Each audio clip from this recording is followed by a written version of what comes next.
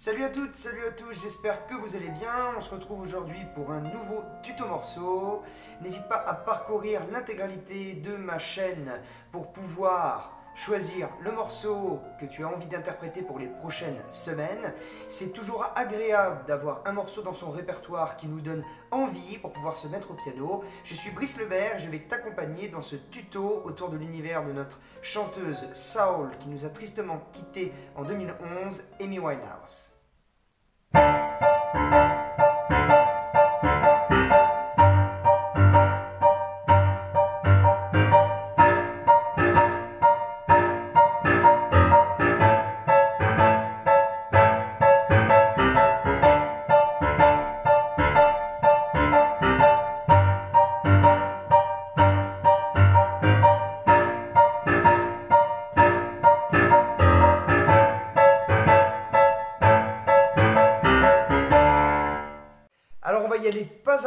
pour essayer de bien comprendre d'abord les harmonies à la main droite avec les accords.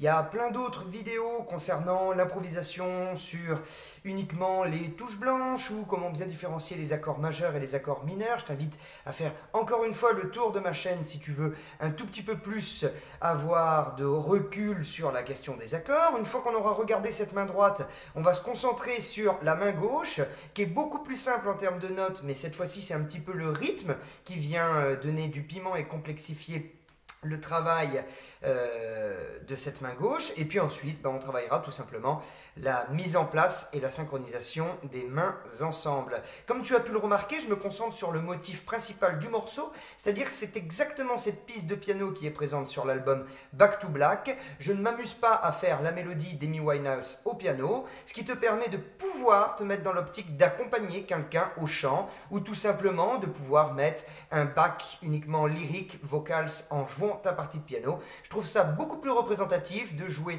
aux deux mains la vraie partie instrumentale du morceau plutôt que d'esquisser la mélodie à la main droite, puisque de toute manière, quelle que soit la qualité de votre main droite, on n'arrivera jamais à égaler Amy Winehouse avec sa voix.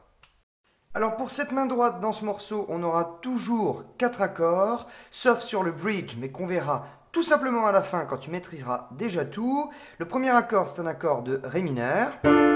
Il est composé de Ré, Fa et La. Le deuxième accord, c'est un accord de Sol mineur, qui est composé de Ré, Sol et Si bémol. Ton troisième accord est un accord de Si bémol majeur, qui est composé de Ré, Fa et Si bémol. Et on termine avec un accord de La majeur, qui est constitué de Do dièse, Mi et La. Dans un premier temps, ce que je te propose, c'est tout simplement d'enchaîner tes accords naturellement.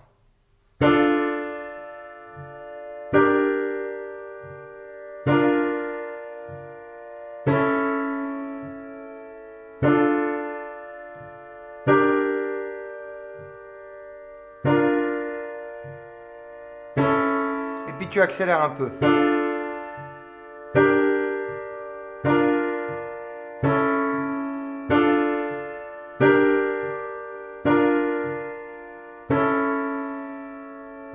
Alors vous êtes très nombreux à m'interpeller sur comment réussir à bien positionner ses doigts pour les accords. Alors la réponse que je pourrais donner numéro 1, c'est que concernant le doigté, ça va dépendre de la morphologie et de la disposition de votre main. Selon si elle est petite, selon si elle est grosse, sinon si vous êtes habitué à jouer avec le 4 et avec le 5, Quoi qu'il arrive, il faut trouver le doigté adéquat qui vous permet d'avoir une bonne sonorité et donc un bon toucher au piano.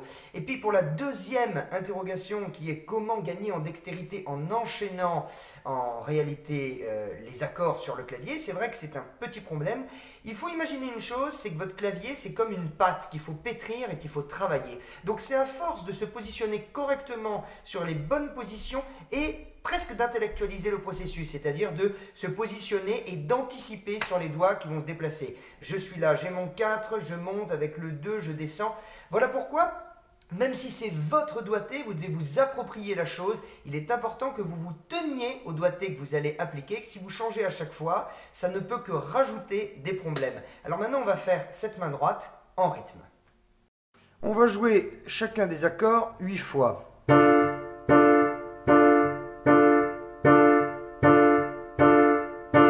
Je switch, je change d'accord.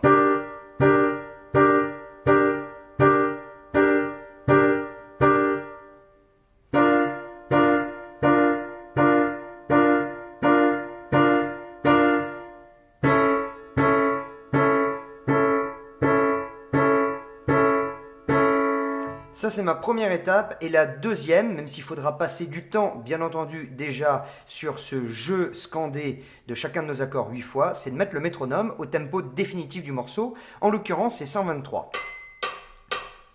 1, 2, 3, 4.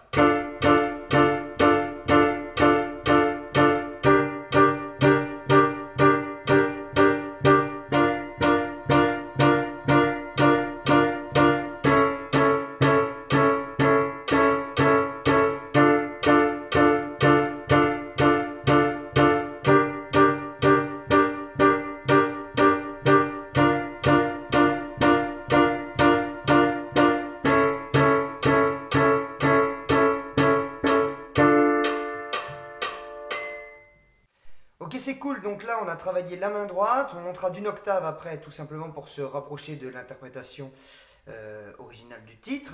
On va se concentrer sur la main gauche. Et pour euh, démarrer ce travail de la main gauche, on va faire un tout petit peu de rythme. Alors il faut que tu saches que pour n'importe quel instrumentiste, que ce soit un oboïste, un clarinettiste, une chanteuse, un pianiste, un percussionniste, il faut bien savoir comment se placent les choses dans notre tête afin de pouvoir les réaliser ensuite au clavier. C'est comme si en fait le clavier c'est une extension de ton corps, une extension par laquelle tes doigts vont interpréter quelque chose, mais c'est d'abord dans le cerveau que ça se passe. Il y a deux motifs en ce qui concerne la main gauche. Le premier qui est un peu celui de la syncope. Répète-le. 1, 2, 3, 4. Pam, pam.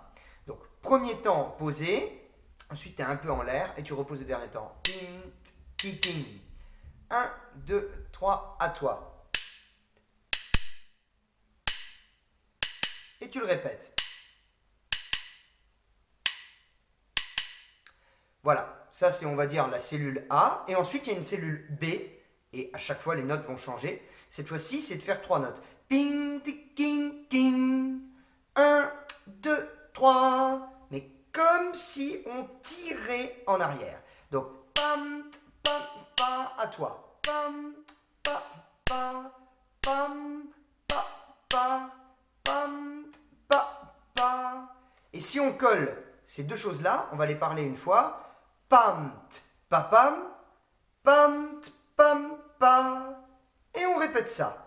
Pim, pi, pim, pim, pim, pi, pam, pa, pam, pam, pam, pa, pam, pa, pam, pam, pam, pam, pam, pam, pam, pam, pam, et ça reprend. Donc tu as vu, ça fait quatre phrases, c'est tout simplement qu'on accompagne avec des basses harmoniques nos quatre accords qui étaient donc de Ré mineur, Sol mineur, Si bémol majeur, et puis la majeure. Alors on y va et on va se mettre au piano. On se met en place avec un octave, ce ne sera que des octaves à la main gauche, et donc le premier motif qui est un peu syncopé et tu répètes ça.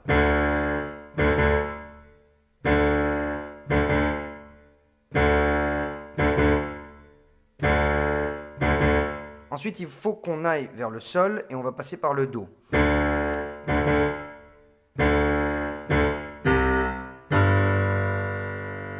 Je te remonte.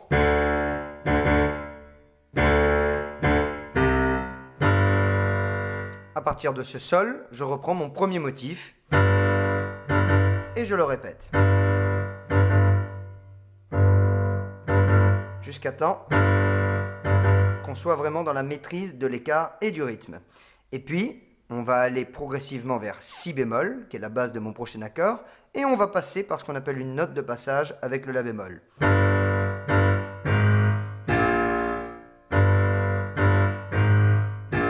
Il y a trois notes. 1, 2, 3, on passe au si bémol. Je te remontre déjà ça.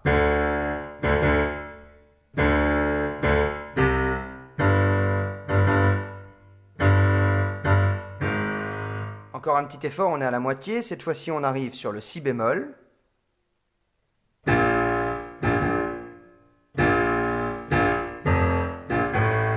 passage un tout petit peu plus technique. On a donc d'abord notre motif qui est syncopé, que je t'invite à répéter autant qu'il ne faut pour que tu sois à l'aise.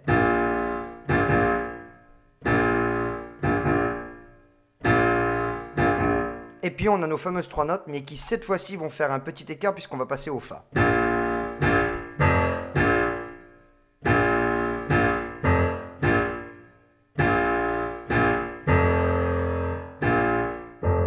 Entraîne-toi à faire ce mouvement, d'abord dans la lenteur, puis dans la rapidité. Donc on était sur le si bémol.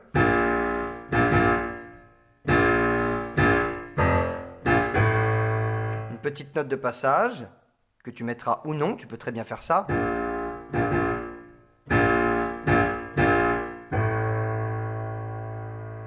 Et on arrive sur le La, qui est la base de notre dernier accord.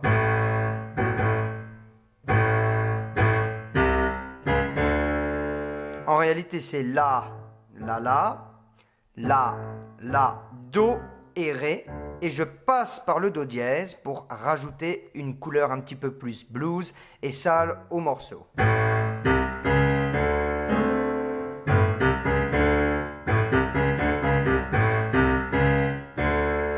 Je te remonte donc toute la main gauche, avec un tempo à 123 comme pour la main droite.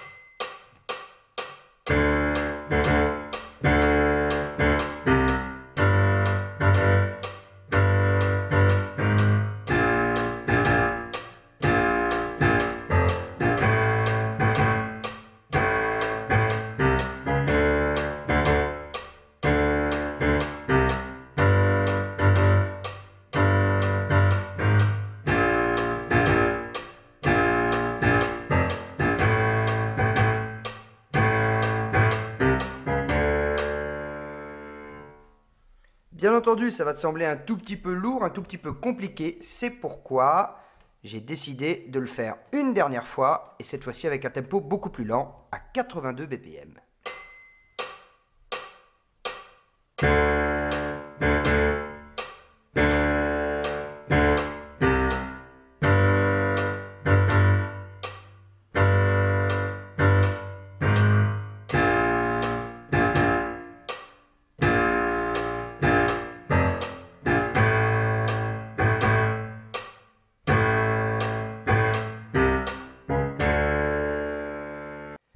Si jamais cette main gauche, malgré du travail, te semble encore un petit peu compliquée, n'aie crainte, c'est qu'il va falloir quelques semaines pour pouvoir réussir, mais je t'ai concocté une version un tout petit peu plus easy de la main gauche, en conservant cet aspect rythmique qui va vraiment dynamiser le morceau, mais juste en enlevant ces petits écarts. Donc la première version que tu viens de voir, c'est exactement la main gauche, fidèle et originelle de l'interprétation du morceau au piano de Back to Black, et voici maintenant une version un tout petit peu plus light. Ce qui nous intéresse, ce qui vous intéresse réellement, c'est quoi? C'est de pouvoir reconnaître le morceau, se faire plaisir, et puis que ça soit pas hmm, quelque chose d'impossible à réaliser. Voilà pourquoi on a cette version. En fait, je vais garder exactement la même structure rythmique, mais je ne fais plus toutes ces petites notes de passage qui donnaient du caractère et du style, mais que vous ferez quand vous maîtriserez un tout petit peu mieux, par exemple, cette version-là.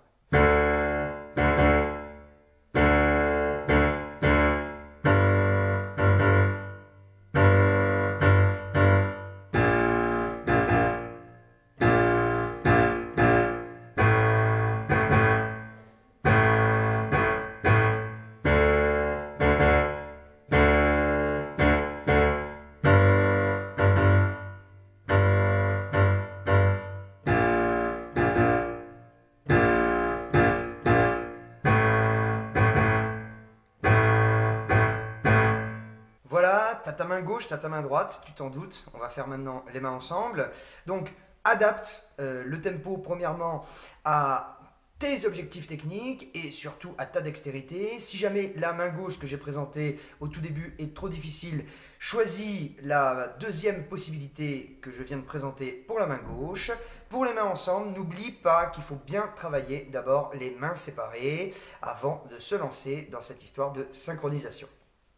Pour la clarté de la vidéo et avant de passer à l'interprétation finale, je mets les mains ensemble seulement à une distance euh, d'une octave d'écart. Dans la réalisation finale, tu pourras voir tout à l'heure que la main droite est un tout petit peu plus dans l'aigu. Pense toujours à mettre ta main droite sur tous les temps du métronome. Et c'est la main gauche qui, elle, va se décaler comme suit.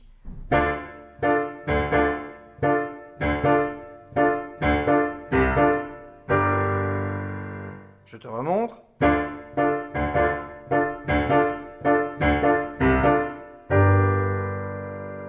Pour la deuxième partie.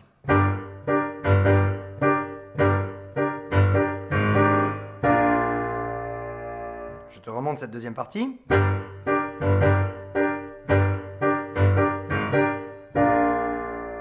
Troisième partie.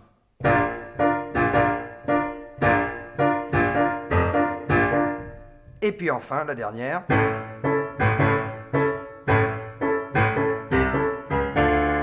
Et maintenant, tu mets ton métronome en place au tempo de ton choix. Moi, je vais le faire au tempo normal de la chanson, à savoir 124.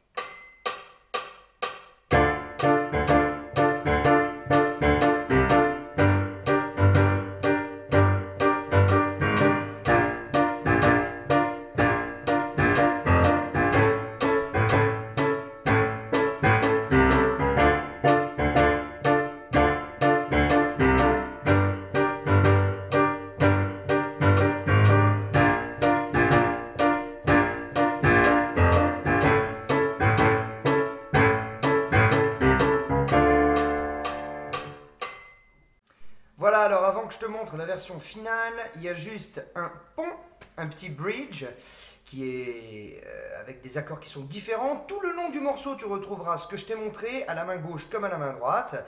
Une fois que tu l'as bien mis en synchronisation, tu vas donc pouvoir faire l'intégralité du morceau. Euh, Back to Black, sauf euh, un petit euh, passage, donc un bridge où on va changer les accords. Je vais te le montrer directement main ensemble, puisque tout simplement c'est des rondes à la main droite comme à la main gauche, donc il n'y a pas trop de difficultés rythmiques.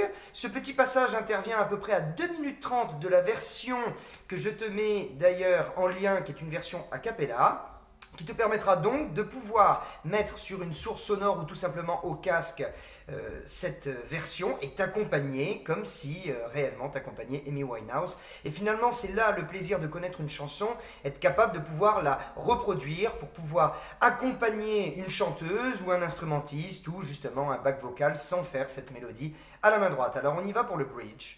Pour les accords de notre bridge, on redémarre exactement avec le même accord que d'habitude. Ré mineur. On passe directement au troisième accord de notre grille précédente, à savoir Si bémol majeur. Ré, Fa, Si bémol. On enchaîne avec un accord de Fa majeur. Do, Fa, La à la main droite et octave ou une seule note si jamais tu as une petite main à la main gauche. Et on finit avec notre même accord qui clôture la grille. Donc il y a toujours quatre accords, le premier et le dernier restent le même. À la place d'avoir notre troisième accord originellement à sa place, c'est-à-dire en tant que troisième accord, cette fois-ci il est en deuxième et il y a juste ce Fa majeur qui est rajouté. Je te remontre. En ronde.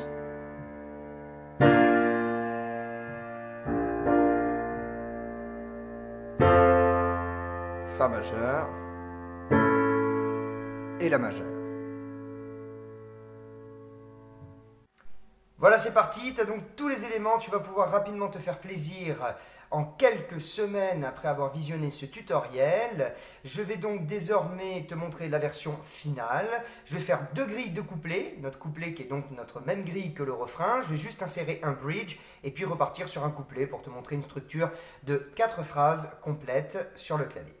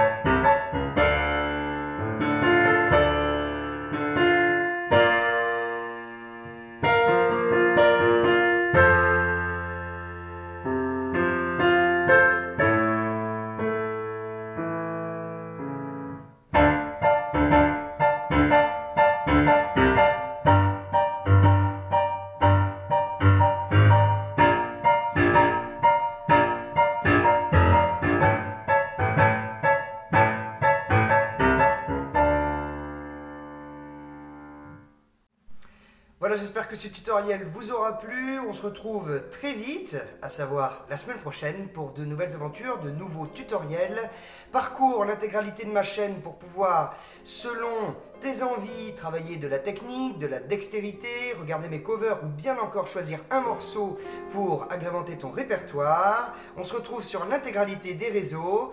Et surtout, n'oublie pas qu'avec du travail, on arrive à tout. À très vite